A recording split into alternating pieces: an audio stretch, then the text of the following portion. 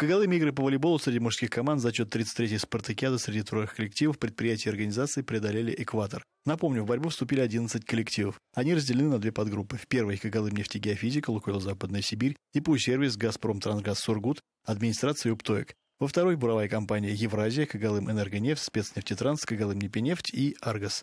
Позади уже три тура предварительных поединков. В подгруппе А абсолютный лидер Западной Сибири. Три матча, три победы. У соседей Когалым Непинефть. Предварительные состязания продлятся до 24 февраля. В следующий этап выходят сборные, занявшие первые и вторые места в своих подгруппах. Далее они сыграют крест-накрест. Проигравшие сразятся за третье и четвертое место, а выигравшие в финале за главный приз. 2 марта станут известны призеры и команда-победитель 33-й спартакиады среди троих коллективов предприятий и организаций Когалыма. Все матчи проходят на паркете Дворца спорта.